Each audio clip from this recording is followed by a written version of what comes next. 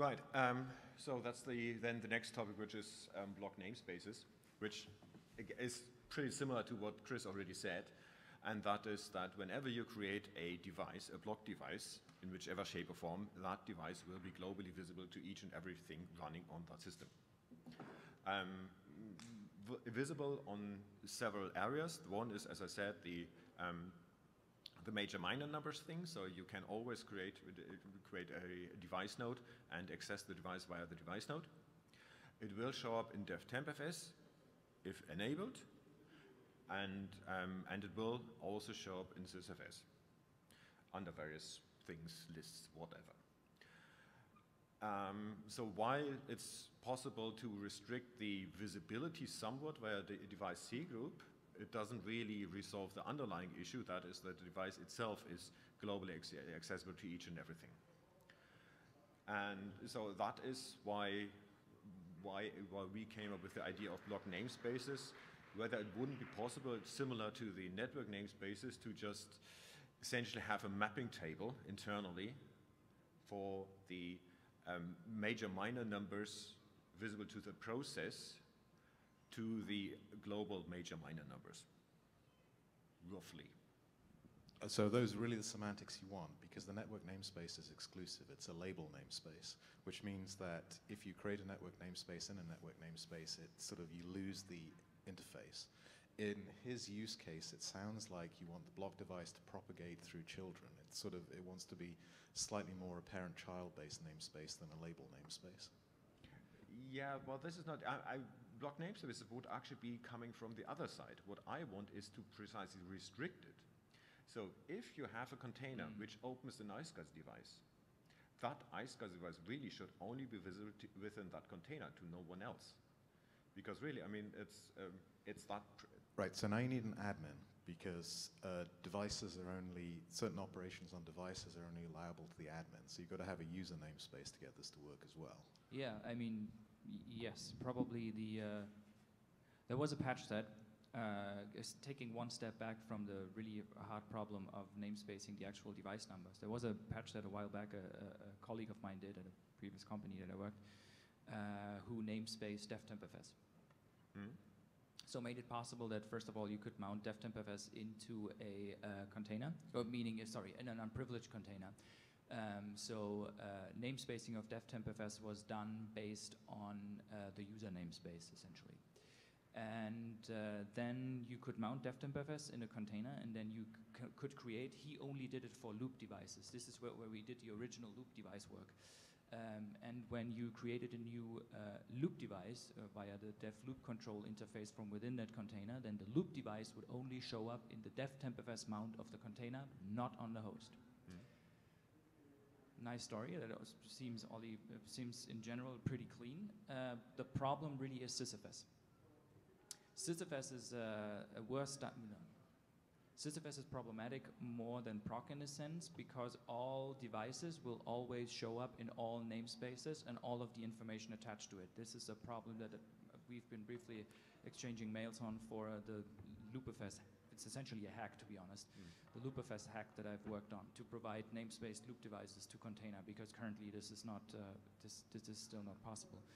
Um, and that's really difficult. The reason why we don't have a block device namespace is not because people thought this is a bad idea. People thought this is a good idea. The reason we don't have it is because Greg was vehemently opposed to it. And namespacing SysFS.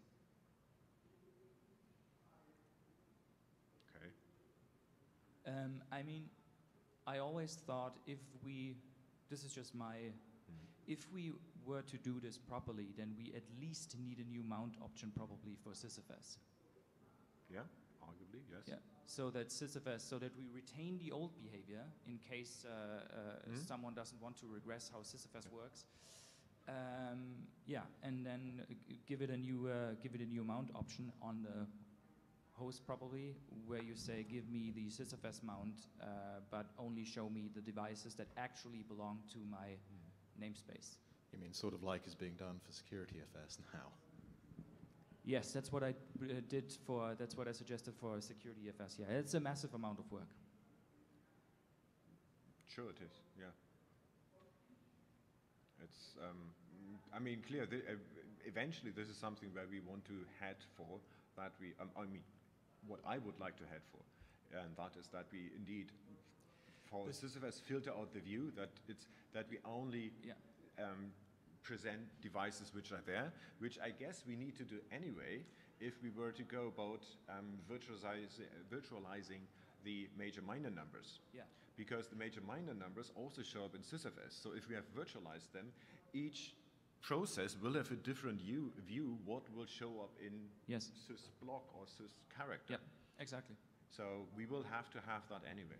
Well, part of the other problem is this is a block device that you actually want to mount. It has a file system on it, so then we have the problem of there are only a certain number of file systems that are allowed to be mounted with. Yeah, but that's not that. That's uh, that's what I consider. Uh, a, that's a container manager problem. You can solve this, which is not pretty, but you know it's at least possible. Like you can set up images in the container, and then we did it via something quick excursion, and then back to the original topic, and then we use syscall interception to actually mount it. So that that really works. Um, block device num yeah block device namespaces. Okay, so the um, I forgot what I wanted to say. I'm sorry. I'm p- pretty jet lagged. So no, but the, the key thing is, Well, um, shall we Actually, let me challenge what pr- you were probably about to say, which is we don't. We, if we did this and it was actually effectively namespacing SysFS, it would be for all devices. It would work for block, character, Yeah. everything. There's no It real will be for all to- devices, yeah. Oh yeah, I wanted Yes, to say yes. one one thing we have in common for actually giving this a shot. Uh, uh, again, even though Greg is vehemently opposed to it, we would need to talk to him probably about it before. But one of the reasons is the the original story always was why this is an unacceptable. Devices belong to the initial namespace and uh, nowhere else. But why? Yeah, exactly. It, not just the why, but the story is no longer true for a couple Yeah. of years now. Think about it. If you if you think about just network devices and you argue network devices don't have, re- have representations, uh, don't ca- have characterized the representations. So we don't uh, character de- uh, uh, network devices are actually special. That that is why they are namespaced because network devices are uh, properly namespaced, even in uh, in SysFS. But uh, nowadays, think about InfiniBand devices, so RDMA capable devices that you slice into SR, take an uh, InfiniBand device that you slice into various SRIOV virtual functions, so that you have 20 or whatever uh, IB devices. These IB devices are all associated with a separate set of character devices in slash def UB verbs or whatever it is. And uh, people delegate InfiniBand devices to containers. Uh, what they what you need to do right now is you need to move that InfiniBand device, the actual uh, virtual function, into the container, and then you also need to make sure to pick out all of the character devices that belong uh, to the IB device by parsing through SysFS, and then putting all of those character devices manually, meaning the container manager needs to do it into the container. The correct model for this is obviously you create, you slice it up into different. Uh, into different uh, net virtual functions. You move that virtual function into the container, and all of the devices associated with this virtual function show up in devtmpfs. That would be the model that we want, because that's how device delegation in this case uh, should work. Yep.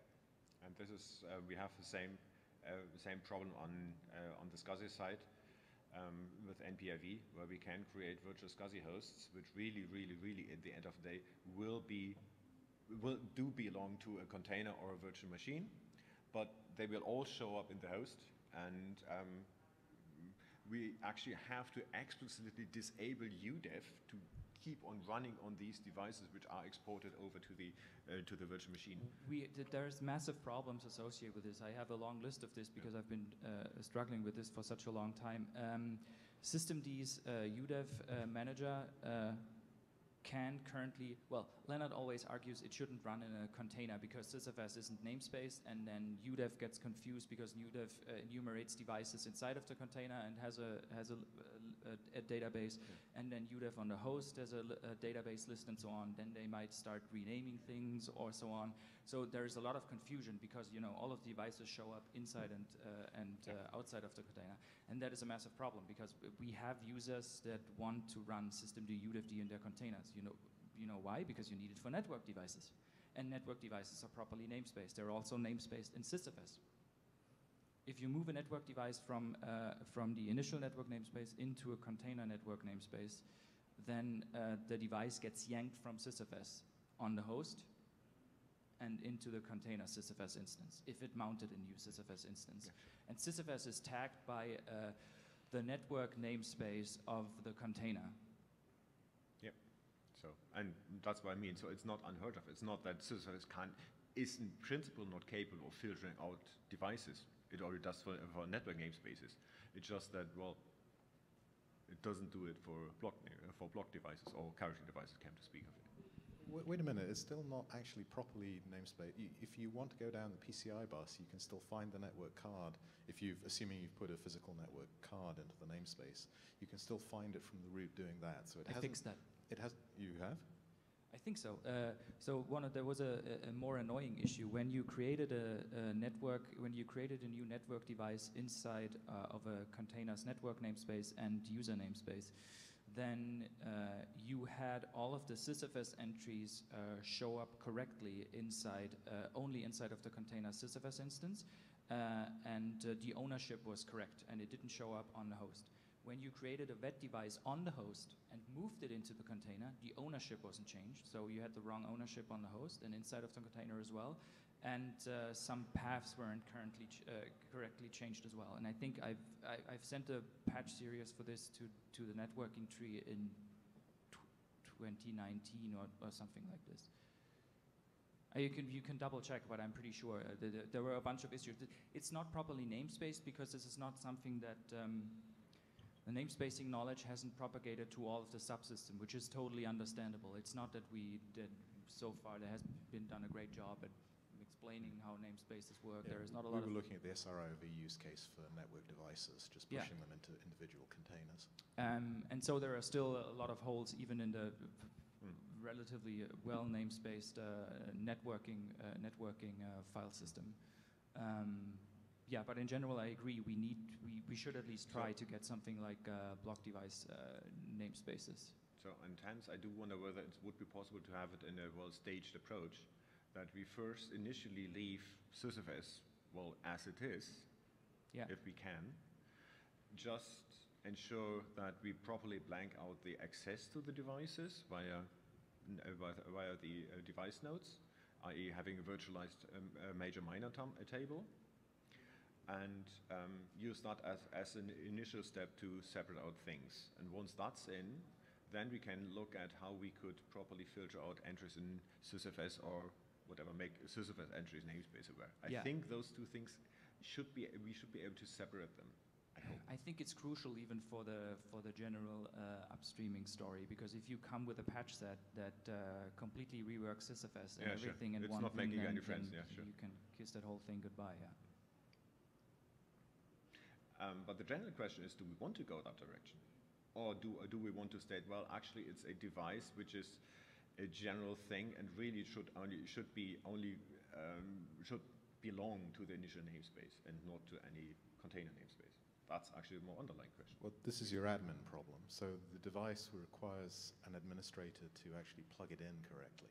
So if you take the view that the container orchestration system just does all of this for you, it's the one that has to do the mount, and then it can pass the mounted file system down into a container. And if that's your only use case, you're, you're not quite containerized, but effectively the orchestration system is coping for you. But you, you, I'm not talking about passing it off. I'm talking about the use case that you have a container which creates an iSCSI device and deletes it on when the container is shut down. Should this iSCSI device be visible in the host or not? No. That's what I think too. But Well, another it approach can- would we, be we well. can do it either yeah. way. The question is, what do you want to do with, or who controls what you do with the iSCSI device? The control is completely within the container. No one else Yeah, I think that's how I understood it. It, it essentially works like the network the network device. Like m- most uh, operations can be done from inside of the container's uh, y- y- username. But then you need to mount it inside the container, and we have all the trouble with the file systems and everything else. It, it's, it's- so what I'm fishing for is how much interaction of the orchestration system we presume exists do you need to do this? For for storage devices, we don't have SRIOV usually. Uh, for storage devices, we don't. Uh, works for the storage devices. We don't usually have SRIOV. I mean, there are some if you do custom builds. So we don't have the luxury of, of the network cards uh, with virtual or physical functions. I know it exists. Don't look at me that way. But we are interested, as I mean, this is something we with zone storage. Um, we would like to have it on the host, but also within the namespace. But uh, you have this device, we manage it, it's there, but inside of the container, I mean, we might want to give it like, uh, we have these limited resources for zone drives, and we might want to have that in a namespace. So maybe the zone drive supports 100 open zones, and we might want to have that container be able to do 20. Um, and this, so we are looking into this, and I'm happy that you're kind of also kind of, we, we think it's a good idea to have this block device. We know that it is out of how you do containers originally, but, but we do see for the high performance database use cases, uh, they usually work with raw storage. And yeah, we'll chip in as we, as, as this kind of matures and wherever we can help. We need at least one more beer before I can even contemplate this. I mean, it's, too. Yeah. Haven't even adapted to the time zone yet. Right. Oh, blimey. Uh, possibly. Yes, of course, we could l- can look into it, but it really is more a QoS issue which you raise, and not really a because I wouldn't know how to map it at all at this time. This would be because you, you would have to have concurrent access to that device, and you would actually need to do some sort of QoS on the concurrent access, which really this is about. It's not so much whether it's uh, not not so much about visibility. It's more about QoS on existing devices, which is you possibly can do a C group for that. I mean, it, it kind of works, but it's, it's, it's the SysFS things destroys everything. So Not if you. You should be able to do some sort of you, C it, group you stuff. can yes, yes, it can work, but if you want to do it in the containerized way and how everything sets up, and I mean, I thought C group were containerized. That was the point of C group, isn't it? No, it works. Yeah. But containers and block storage isn't there yet. when Yeah, we- sure. Yeah. So anyway, um, so the question: uh, Shall we? Shall we try, or shall I try, or we try to um, see to have the blocks um, n- Yeah. names uh, make them main namespace aware, or is I it think, a I lost mean, cause? It, it can't hurt. The situation is Yeah. also vastly different. The number of arguments for it is mm, have increased with uh, over time quite significantly. Hmm. Originally, when when that was proposed, containers weren't as widely used, Hmm. and uh, de- delegating devices to containers was just a bunch of yeah. A bunch of people were interested in this in the Right. first place, so it wasn't really a, a big use case. So it was easy to just say, eh, don't delegate devices to containers. Do you, do you really need a, a new block namespace? Can you say that block devices created by networks um, and network namespaces only show up in the network namespace? Yeah, that is in principle possible, but um, you end up with a you might end up with the same amount of uh, the same amount of work because the device creation logic is uh, different for network devices and for um, for character and block device. What I mean by this, what I mean by this is the uh, character and block devices are based on the kobject framework. And uh, the network devices, if I remember this correctly, I haven't uh, looked at this in, a, in about a year, they are not based on kobjects, uh, kobjects at all. So it's a totally different namespacing sorry, so stars, uh, story. So uh, networking is namespace completely independent of character devices and block devices. Um, and so you need to hook into the uh, the character, and you ca- and you can take, as far as I can tell, you can take the character and block device creation out of the out of the block path. You need to create a a set of functions out of the kobject path. You need to create a set of primitives and functions that allow you to create namespace character and block devices. Anyway, you need to do this in a generic way. The loopfs pat, loopfs patch set that I wrote Yeah. has these functions added. So, and also Um, the other thing is that we, if we were doing this, we would be completely l- uh, losing out on InfiniBand. Because that's not really network as such. So, or is it, hang on, I'm not sure. I'm- Is it also, is it also running via the network namespaces, InfiniBand stuff? If you're not using IP over IB?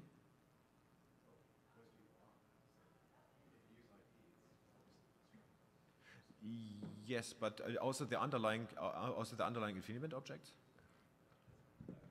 So InfiniBand can have two appearances. One is as an IP thing, which Yeah. is basically just an IP transport Yeah. protocol. The other is technically as a bus protocol, where it appears a bit Yeah, like a. PCI bus. That second one wouldn't be namespaced. Exactly, the second one wouldn't be, which means that for NVMe over RDMA, we would be losing out. Because it's just using IP over B for the initial discovery and everything else goes via real InfiniBand. I know.